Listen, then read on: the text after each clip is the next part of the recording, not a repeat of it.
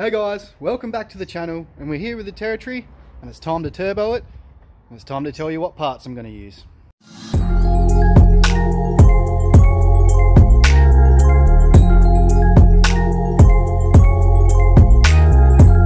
I decided I'ma spit it to him laid back flow like a nigga you can picture in the meat. Yes, so it's that time again. Time to turbocharge another NA Barra. And yeah, we've done a couple of things already to get ready for it. We've got the oil feed line holder on there and a few other things. But it's time to show you guys what parts we're actually going to use for the conversion.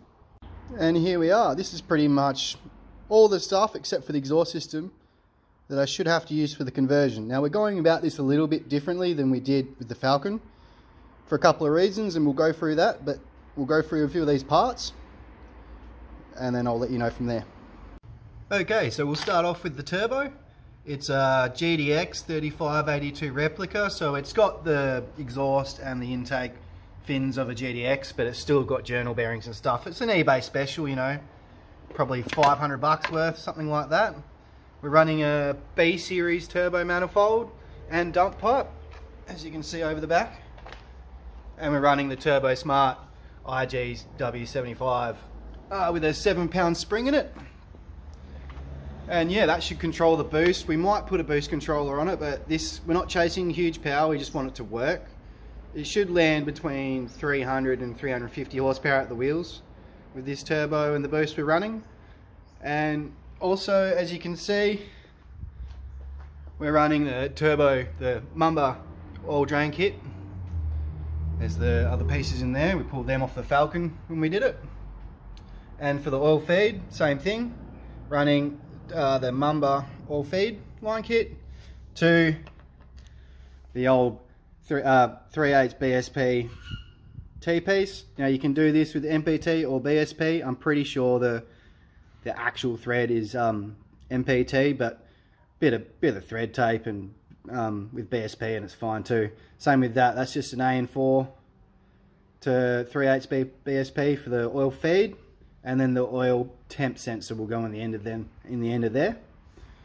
So that's pretty much the oil feed and the turbo and what we're using there. We are going to chuck an oil catch can on there just cause. Now I am not running water cooling. You know, that's debatable between some of us, but plenty of us uh, in the NAT community have run no water lines on the lower boost setups and for years and with a lot of success. So that's pretty much the turbo side setup. Now moving on to the intake. We're actually running the Ants turbo side intake kit, which means we're going to need to run the battery relocation kit as well, which we're going to do that, which will give us a good sound for the turbo and obviously help a little bit with you know, power and whatnot. And what's going to be different about this conversion is we're going top mount intercooler. So I managed to find a top mount kit, but it didn't have the piping that goes up to the throttle body. I mean around to the intake, but that's where we're going to use the Ants kit instead. But we did get the intercooler, the, uh, the cover with that on it, and uh, this short pipe going straight down to the turbo, which means that turbo will need to be clocked. And this cool little pipe that comes around to the throttle body from the intercooler. And with the intercooler, it's got its blow-off valve spot, so we're gonna run a blow-off valve off that too. Just another cheap one off eBay. Vent to the atmosphere. And obviously we're also gonna run the heat shields for the turbo. And also to make sure all this stuff works, e.g. for example, tuning and fueling, we'll be running the FG Turbo map sensor, as well as the turbo fuel pressure regulator.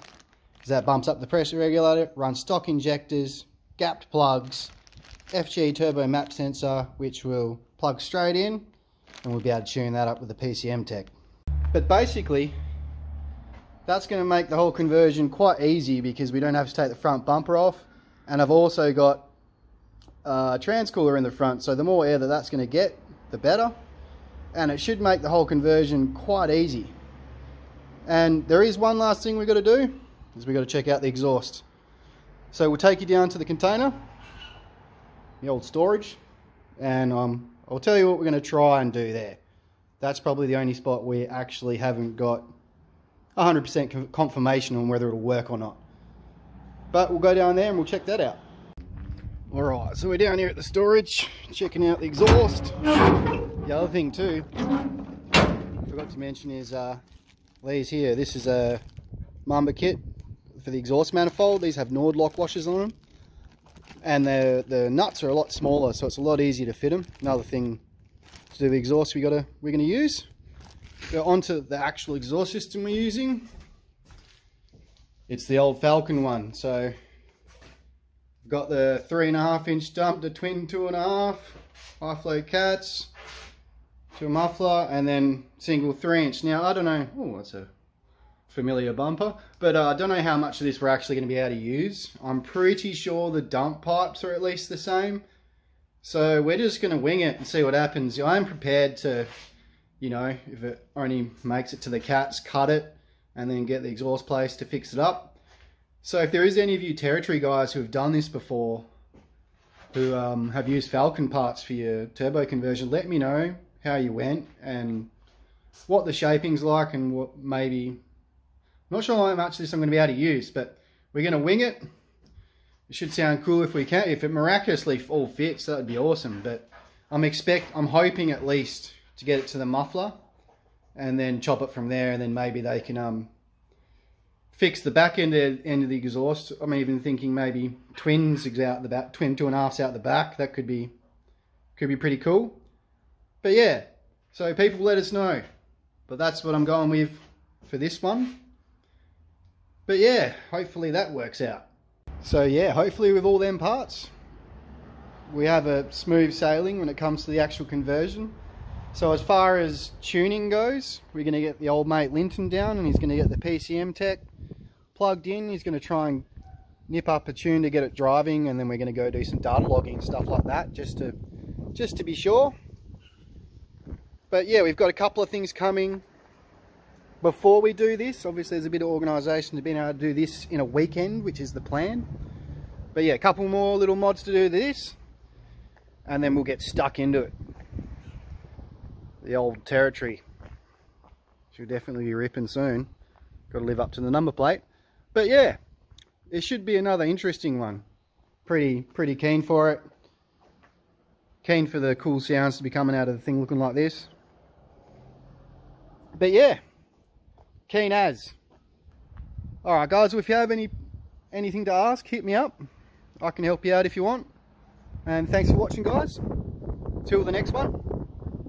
See you later.